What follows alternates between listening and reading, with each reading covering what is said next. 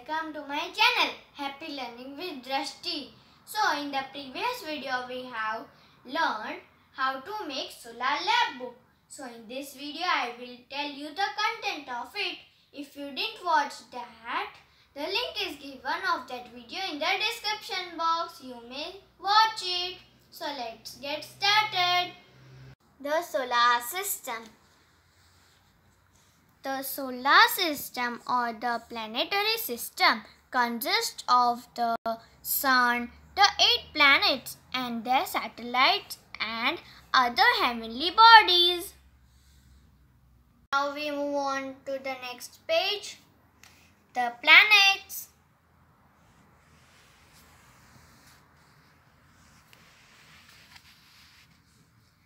Planets are heavenly bodies that move around the sun. They do not have any light of their own. They only reflect the sunlight. So this is the solar system lap book.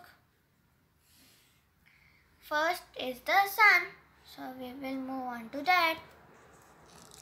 Stars are huge balls of burning gases. The sun is the star nearest to the earth. That is why it appears much bigger than other stars. The sun gives us heat and light. This makes life possible on the earth. The next planet is Mercury which is closest and the first planet of our solar system. Mercury is the planet nearest to the sun.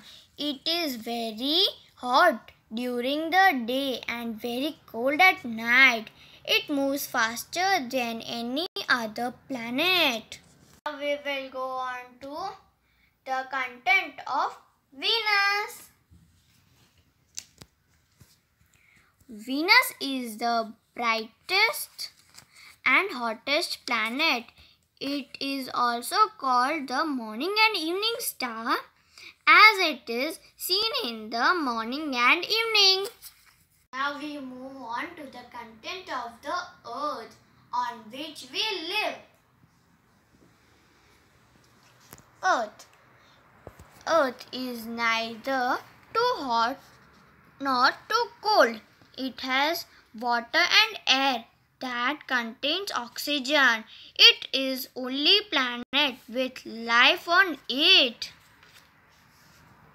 Now we will move on to the Mars.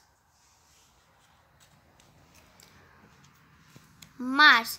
Mars is covered with reddish sand and rocks. It is also called the red planet.